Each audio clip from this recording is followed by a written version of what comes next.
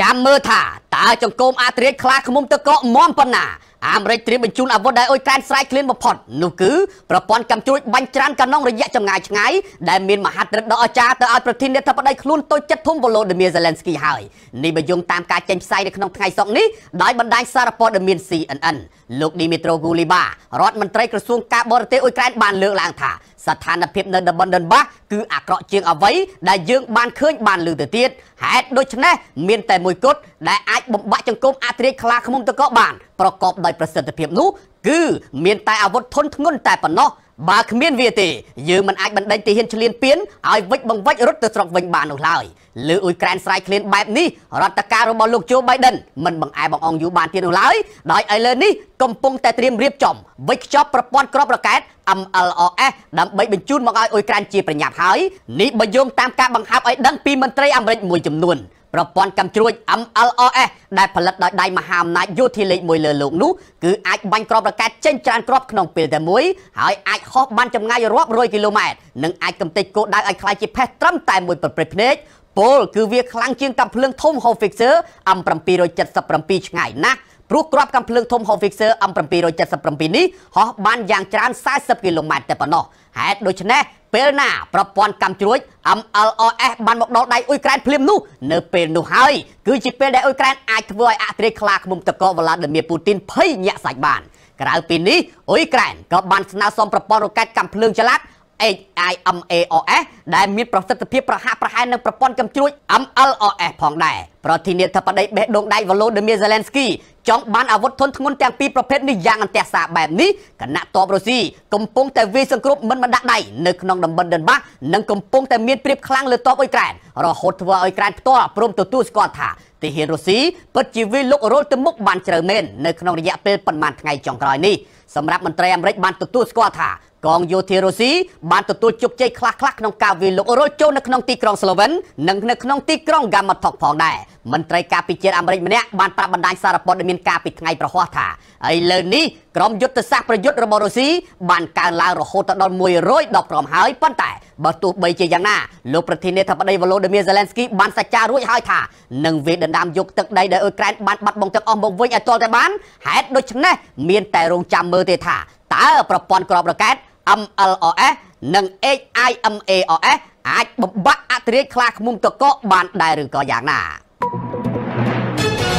ក្រមប្រទេសលោកខាងលិចលមមឈប់លេងបិទពួនជាមួយអត្រាខ្លាឃ្មុំតកទៀតទៅហើយបន្តដឹកទណ្ឌកម្មសម្ពងរុស្ស៊ីឲ្យបានខ្លាំងក្លាបំផុតដើម្បីបញ្ចប់សង្គ្រាមព្រោះឥឡូវនេះរុស្ស៊ីកំពុងតែអនុវត្តគោលនយោបាយប្រឡាយពូជសាសន៍នៅដុនបាសហើយនេះគឺជាសម្ដីទទូចចេញពីមាត់របស់ប្រធានាធិបតីបេះដូងដៃវ៉ាឡូឌីមៀហ្សេឡែនស្គីដែលត្រូវបានយកមកចុះផ្សាយដោយផ្នែកងារសារព័ត៌មានអាចារ្យសារ៉ានៅក្នុងថ្ងៃសុក្រនេះលោកហ្សេឡែនស្គីបានទទូចយ៉ាងដូចនេះ គណៈដែលតបរុស្ស៊ីយ៉ាងច្រើនសន្ធឹកសន្ធាប់កំពុងតែព្យាយាមឡោមព័ទ្ធក្រុងដ៏សំខាន់ចំនួន2គឺទីក្រុង Severodonetsk និងទីក្រុង Lysychansk នាភាគខាងកើតប្រទេសអ៊ុយក្រែនលោកបានថ្លែងនៅក្នុងសម្រងសម្ដីដើមថាអ៊ុយក្រែននឹងនៅតែជារដ្ឋឯករាជ្យប៉ុន្តែសំណួរនៅត្រង់ថា តើពលរដ្ឋរបស់យើងនឹងត្រូវខាត់បងបណ្ណាទៀតដើម្បីសេរីភាពរបស់ខ្លួននិងថាតើរុស្ស៊ីនឹងត្រូវខាត់បងប៉ុន្មានសម្រាប់សង្គ្រាមគ្មានន័យប្រឆាំងនឹងយើងនេះលោក Zelensky បានបន្តថាមហន្តរាយនៅតែអាចបញ្ឈប់បានបើពិភពលោកចាត់ទុកស្ថានភាពនៅអ៊ុយក្រែនដូចជាស្ថានភាពដែលពិភពលោកកំពុងតែប្រឈមហើយមហាអំណាចលោកខាងលិចឈប់ទ្រាំត្រែងលេងបិទពួនជាមួយរុស្ស៊ីតទៅទៀតនោះ ខណៈលើកឡើងយ៉ាងដូចនេះប្រធានាធិបតីខ្លួនតូចចិត្តធំរូបនេះបានលើកឡើងផងដែរថាសកម្មភាពរបស់រុស្ស៊ីនៅក្នុងតំបន់ដិនបាសគឺពិតជាគោលនយោបាយប្រឡាយពូជសាសន៍លោកបានមានប្រសាសន៍បន្តបែបនេះថា ជនឆ្លៀនពៀនកំពុងតែវាកំទេចដុនបាសរហូតដល់តែអស់មនុស្សរស់នៅពលគឺពួកគេចង់កំទេចទីក្រុងភពបាសនានិងទីក្រុងមារីយាពលហើយនិងទីក្រុងដតីទៀតឲ្យខ្លាយជាផេះហេតុដូច្នេះមានតែដាក់សម្ពាធលើរុស្ស៊ីទេទើបអាចសង្គ្រោះជីវិតមនុស្សបាន ហើយការយឺតយ៉ាវឬមានការដាក់សំណាណាមួយដើម្បីលួងលោមយកចិត្តរុស្ស៊ីគឺមានតែធ្វើឲ្យប្រដ្ឋអ៊ុយក្រែនបាត់បង់ជីវិតបន្តទៀតតែប៉ុណ្ណោះ មន្ត្រីយោធាជាន់ខ្ពស់អ៊ុយក្រែនបានទទួលស្គាល់ថារុស្ស៊ីមានប្រៀបជាងទាំងផ្នែកផ្លូវអាកាសនិងការភ្លើងធំក្នុងការប្រយុទ្ធគ្នានៅក្នុងតំបន់ Luhansk នាភាគខាងកើតប្រទេសអ៊ុយក្រែនលោក Alexei Gromov អគ្គសេនាធិការនៃកងកម្លាំងប្រដាប់អាវុធអ៊ុយក្រែនបានលើកឡើងនៅក្នុងសន្និសីទសារព័ត៌មានមួយថាកងកម្លាំងអ៊ុយក្រែនកំពុងតែព្យាយាមអស់ពីសមត្ថភាពរបស់ខ្លួនហើយដើម្បីផ្លាស់ប្ដូរស្ថានភាពលោកបានមានប្រសាសន៍នៅក្នុងសម្រងសម្ដីដើមដែលចុះផ្សាយដោយភ្នាក់ងារសារព័ត៌មាន Interfax យ៉ាងដូចនេះថា ការពិតបច្ចុប្បន្នសត្រូវមានព្រៀបជាងយើងទាំងផ្នែកផ្លូវអាកាសនិងកំភ្លើងធំប៉ុន្តែយើងក៏កំពុងតែធ្វើអ្វីគ្រប់យ៉ាងដែលអាចធ្វើទៅបានហើយការផ្ដល់អាវុធទំនើបទំនើបមកពីបណ្ដាប្រទេសជាដៃគូនឹងបង្កើនល្បឿននៃជ័យជំនះរបស់យើងលោកបានលើកឡើងបន្តថាស្ថានភាពគឺពិបាកប៉ុន្តែមានស្ថិរភាពនៅក្នុងទីក្រុង Severodonetsk នៅទីនោះរុស្ស៊ីកំពុងតែធ្វើប្រតិបត្តិការក្នុងរបៀបបុរាណដោយជាដំបូងពួកគេបើកការវាយប្រហារលើអាកាសបន្ទាប់មកដោយកាំភ្លើងធំហើយបន្ទាប់មកទើបបញ្ជូនកងកម្លាំងជើងគោកមកចូលប្រទេសរុស្ស៊ីក្រុងនឹងវាដណ្ដើមយកទឹកដីអ៊ុយក្រែនទាំងមូលដោយរដ្ឋធានីគៀវជាគោលដៅចម្បងរបស់អធិរាជខ្លាឃ្មុំតកក នេះបើយោងតាមសម្ដីរបស់លោកវីតាលីក្លីឆ្កូដែលជាអភិបាលក្រុងគៀវផ្ទាល់តែម្ដងលោកវីតាលីក្លីឆ្កូបានលើកឡើងអំឡុងកិច្ចពិភាក្សាជាក្រុមក្នុងវេទិកាសេដ្ឋកិច្ចពិភពលោកនៅក្នុងទីក្រុងដាវ៉ូសកាលពីថ្ងៃប្រហោះថាវាច្បាស់ណាស់ថាប្រទេសរុស្ស៊ីមិនមែនកំពុងអនុវត្តប្រតិបត្តិការពិសេសនោះទេប៉ុន្តែគឺប្រព្រឹត្តអំពើប្រល័យពូជសាសន៍ដ៏យងក្នុងនៅអ៊ុយក្រែនទៅវិញទេលោកបានក្រើនរំលឹកថាអ៊ុយក្រែនមិនត្រឹមតែការពារអធិបតេយ្យភាពរបស់ខ្លួនតែប៉ុណ្ណោះទេប៉ុន្តែកំពុងតែការពារតម្លៃនៃប្រជាធិបតេយ្យទាំងមូលហើយយើងការពារមិនត្រឹមតែគ្រួសាររបស់យើងទេយើងការពារអ្នកទាំងអស់គ្នាយើងការពារអ្នកព្រោះយើងមានតម្លៃដូចគ្នាអភិបាលក្រុងរូមនេះបានបញ្ជាក់ទៀតថាសង្គ្រាមគឺជាគ្រោះថ្នាក់ដល់អឺរ៉ុបនិងពិភពលោកទាំងមូលហេតុដូច្នេះយើងស្នើសុំឲ្យមានការសម្រេចចិត្តឲ្យបានរហ័សពីមេដឹកនាំផ្សេងៗទៀតដើម្បីបញ្ជូនអាវុធបន្ថែមទៀតមកឲ្យអ៊ុយក្រែនព្រោះមានតែអាវុធទំនើបទេដែលអាចបំបាក់ខ្លាឃ្មុំតកបាន ប្រទេសរុស្ស៊ីបានលើកឡើងថាសកម្មភាពខុសច្បាប់ប្រព្រឹត្តដោយលោកខាងលិចកំពុងតែបង្កឲ្យមានបញ្ហាដល់ការផ្គត់ផ្គង់គ្រាប់ធញ្ញជាតិនៅក្នុងទ្វីបអឺរ៉ុបបន្ទាប់ពីវិមានក្រំឡាំងត្រូវបានចោទប្រកាន់ពីបទរារាំងការនាំចេញគ្រាប់ធញ្ញជាតិពីអ៊ុយក្រែន លោកឌីមីត្រីពេស្កូដែលជាអ្នកនាំពាក្យប្រធានាធិបតីវ្លាឌីមៀពូទីនបានប្រាប់អ្នកសារព័ត៌មានកាលពីថ្ងៃប្រហោះនៅក្នុងសំរងសម្ដីដើមបែបនេះថាយើងបដិសេធទាំងស្រុងនៅការចោទប្រកាន់ទាំងនេះផ្ទុយទៅវិញគឺប្រទេសលោកខាងលិចទេដែលជាអ្នកធ្វើសកម្មភាពខុសច្បាប់មួយចំនួនទើបនាំឲ្យមានការបិទផ្លូវទឹកនេះនៅពេលត្រូវសួរថាពេលនេះមានន័យថាតនកម្មលោកខាងលិច ចាំបាច់ត្រូវតែដកចេញដើម្បីឲ្យក្របធញ្ញជាតិអាចផ្គត់ផ្គង់ទៅកាន់ពិភពលោកវិញមែនទេពេលនោះលោកបានលើកឡើងថាពិតណាស់ពួកគេត្រូវតែលុបចោលការសម្រេចចិត្តខុសច្បាប់ទាំងនោះអ្វីត្បិតរុស្ស៊ីការពីទង្វើរបស់ខ្លួនប៉ុន្តែក្រមប្រទេសលោកខាងលិចនៅតែលើកឡើងថាអ្វីអ្វីគ្រប់យ៉ាងមកពីរុស្ស៊ីទាំងអស់ហើយកាលពីដើមសប្តាហ៍នេះប្រធានកម្មវិធីស្បៀងអាហារពិភពលោករបស់អង្គការសហប្រជាជាតិក៏បានអំពាវនាវឲ្យប្រធានាធិបតីរុស្ស៊ីលោកវ្លាឌីមៀពូទីន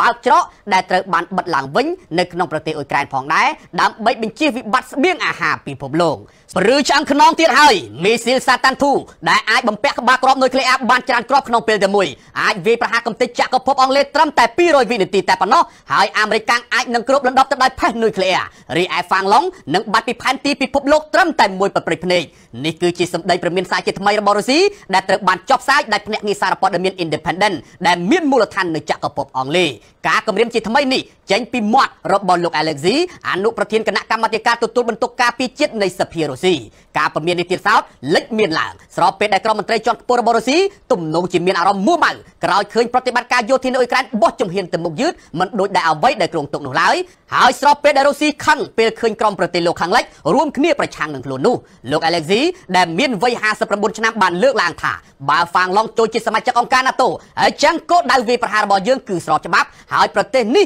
នឹងបាត់ពីផែនទីពិភពលោកត្រឹមតែ10វិនាទីតែប៉ុណ្ណោះលោកបានបន្តនៅក្នុងសម្រងសម្ដីដើមបែបនេះថាបើអាមេរិកកាំងគម្រាមប្រទេសយើងហើយចឹងល្អណាស់នេះគឺជាមីស៊ីលហ្សាម៉ាតឬមីស៊ីលហ្សាតាន់ធូសម្រាប់អ្នកហើយផេះនុយក្លេអ៊ែរនឹងគ្របដណ្ដប់អាមេរិកបានអ្នកគិតថារុស្ស៊ីមិនគួរមាននៅលើលោកនេះដោយឡែកសម្រាប់អធិរាជខ្លាឃ្មុំតកវ្លាឌីមៀពូទីនវិញកាលពីថ្ងៃច័ន្ទបានប្រមានក្រុមប្រទេសលោកខាងលិចថារុស្ស៊ីនឹងឆ្លើយតបប្រសិនបើណាតូចាប់ផ្ដើមពង្រីកហេដ្ឋារចនាសម្ព័ន្ធយោធារបស់ខ្លួននៅលើទឹកដីហ្វាំងឡុងនិងស៊ុយអែតក្រោយប្រទេសទាំងពីរនេះបានសម្រេចដាក់ពាក្យស្នើសុំជាសមាជិកអង្គការ NATO នោះថ្លែងទៅកាន់ថ្នាក់ដឹកនាំនៃប្រទេសអតីតសហភាពសូវៀតដែលជាសមាជិកអង្គការសន្ធិសញ្ញាសន្តិសុខសមូហភាពដែលហៅកាត់ថា CSTO នោះលោកវ្លាឌីមៀពូទីនបានលើកឡើងថាការពង្រីកខ្លួនរបស់អង្គការ NATO កំពុងតែត្រូវបានអាមេរិកប្រើប្រាស់ជាឈ្នន់ដើម្បីធ្វើឲ្យស្ថានភាពសន្តិសុខពិភពលោកកាន់តែដុនដាបគណៈកាន់តែយ៉ាប់យ៉ឺនស្រាប់ទៅហើយនោះអ្វីត្បិតប្រមានចាត់វិធានការឆ្លើយតបក៏ប៉ុន្មានប៉ុន្តែលោកវ្លាឌីមៀពូទីនហាក់បីដូចជាបន្ទន់ជំហរខុសធម្មតានៅពេលនេះដោយលោកបានលើកឡើងថា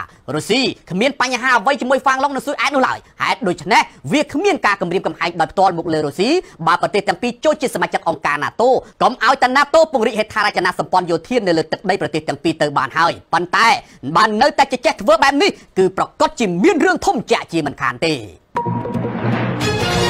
នៅទីបំផុតតបអ៊ុយក្រែនព្រមឲ្យរុស្ស៊ីគ្រប់គ្រងទីក្រុងបារីយ៉ូប៉ុលហើយ ហើយបានប្រកាសបិទបញ្ចប់បេសកកម្មប្រយុទ្ធនៅក្នុងទីក្រុងនេះហើយដើម្បីសង្គ្រោះជីវិតទាហានដែលជាប់នៅក្នុងរោងចក្រស្លដៃ Azostel នេះបើយោងតាមការចេញផ្សាយនៅក្នុងថ្ងៃអង្គារនេះដោយភ្នាក់ងារសារព័ត៌មាន Reuters អ៊ុយក្រែនបានបញ្ជាក់ទៀតថាទាហានរបស់ខ្លួនមានជាង260នាក់ត្រូវបានជំនះដោយសវត្ថិភាពក្រោយជាប់នៅក្នុងរោងចក្រស្លដៃ Azostel នេះជាង2ខែកន្លងមកលោកស្រីហាណាអនុរដ្ឋមន្ត្រីក្រសួងការពារជាតិអ៊ុយក្រែនបានលើកឡើងថាទាហានដែលរងរបួសធ្ងន់ធ្ងរចំនួន53នាក់ត្រូវបានបញ្ជូនទៅកាន់ទីក្រុង Nova Azov ដែលកំពុងស្ថិតក្រោមការគ្រប់គ្រងរបស់ក្រុមផ្ដាច់ខ្លួនដែលមានរុស្ស៊ីគ្រប់គ្រងពីក្រោយលោកស្រីបានបន្តទៀតថាទាហាន211នាក់ផ្សេងទៀតត្រូវបានជំនះចេញតាមចុចរបៀបមនុស្សធម៌ទៅកាន់ទីក្រុង Oleniska ជាទីក្រុងដែលកំពុងស្ថិតក្រោមការគ្រប់គ្រងរបស់ក្រុមផ្ដាច់ខ្លួនដូចគ្នាលោកស្រីបានបញ្ជាក់បន្ថែមថាទាហានដែលត្រូវបានជំនះចេញទាំងនេះគឺជាការដោះដូរជាមួយទាហានរុស្ស៊ីដែលអ៊ុយក្រែនចាប់ខ្លួនបាននៅពេលកន្លងមករីឯប្រធានាធិបតី Volodymyr Zelensky បានមានប្រសាសន៍ថាប្រតិបត្តិការជំនះនេះគឺជាការចូលរួមពីសំណាក់កងយោធាអ៊ុយក្រែនក្រុមការងារសម្ងាត់ក្រុមចរចានិងកាកបាទក្រហមព្រមទាំងអង្គការសហប្រជាជាតិផងដែរដើម្បីសង្គ្រោះវីរៈបរិយរបស់យើងសូមបញ្ជាក់ថាឥឡូវនេះគេមិនទាន់ដឹងច្បាស់ដល់ឡើយទេថាតើនៅមានទាហានអ៊ុយក្រែនប៉ុន្មានអ្នកទៀតកំពុងតែជាប់ក្នុងរូងក្រោមដីនៅក្នុងតំបន់ស្លដៃ Azovstal នេះប៉ុន្តែគេជឿជាក់ថាអាចមានប្រហែលជា600នាក់ហើយឥឡូវនេះប្រតិបត្តិការជំនះកំពុងតែបន្តនេះបើយោងតាមការផ្សព្វផ្សាយរបស់សាយជីវកម្មផ្សព្វផ្សាយសម្លេង BBC សង្គ្រាមនៅអ៊ុយក្រែនបានដាក់ឲ្យយៈជប៉ុនភ្ញាក់ពីដំណេកវិញហើយប្រទេសនេះកំពុងតែស្នើឲ្យមានការបង្កើនថវិកាការពារជាតិឲ្យបានទ្វេដងតែម្ដងពលឲ្យបានកើនឡើងរហូតដល់105,000លានដុល្លារឬ2%នៃផលិតផលក្នុងស្រុកសរុបរបស់ខ្លួនចំណាត់ការនេះដែលមិនខុសពីចំណាត់ការរបស់អាល្លឺម៉ង់ប៉ុន្មាននោះទេនឹងធ្វើឲ្យប្រទេសជប៉ុនខ្លាំងខាងវិស័យយោធាឡើងវិញបន្ទាប់ពីរោគធ្វើអ្វីមិនកើតដោយសារតែជាប់លក្ខខណ្ឌក្រោមរដ្ឋធម្មនុញ្ញសន្តិភាពនិយមក្រោយចាញ់សង្គ្រាមលោកលើកទី2រដ្ឋាភិបាលជប៉ុនដែលដឹកនាំដោយគណៈបកប្រជាធិបតេយ្យសេរីនិយមបានលើកឡើងថាការសម្រេចនេះដែលត្រូវប្រកាសកាលពីចុងខែមេសានោះកើតមានឡើងដោយសារតែចំនួននៅអ៊ុយក្រែនដែលបង្កឡើងដោយរុស្ស៊ីនិងដោយសារតែសម្ពាធនៅក្នុងតំបន់បង្កឡើងដោយចិនកូរ៉េខាងជើងនិងរុស្ស៊ីផងដែរ លោកស៊ីគីដែលជារដ្ឋមន្ត្រីក្រសួងការពារជាតិជប៉ុនបានលើកឡើងបន្តថាការបង្កើនខ្ទង់ចំណាយលើវិស័យការពារជាតិនេះនឹងជួយឲ្យប្រទេសជប៉ុនមានសមត្ថភាពការពារខ្លួនពេញលេញពីការឈ្លានពាននៅក្នុងតំបន់សូមបញ្ជាក់ថាដំបូងឡើយអាមេរិកជាអ្នកដាក់លក្ខខណ្ឌឲ្យជប៉ុនមានរដ្ឋធម្មនុញ្ញសន្តិភាពនិយមដើម្បីរារាំងកុំឲ្យមហិច្ឆតាចក្រពត្តិរបស់ជប៉ុនរើឡើងវិញប៉ុន្តែក្រោយមកឃើញជប៉ុនពឹងផ្អែកលើខ្លួនខ្លាំងពេកអាមេរិកកាំងក៏បានចាប់ផ្ដើមដុកដានឲ្យជប៉ុនបង្កើនថវិកាការពារជាតិឡើងវិញដើម្បីជួយគ្នាការពារសន្តិសុខនៅក្នុងតំបន់អាស៊ីប៉ាស៊ីហ្វិកក្រោយឃើញចិនកំពុងតែឡើងដៃខ្លាំងនោះ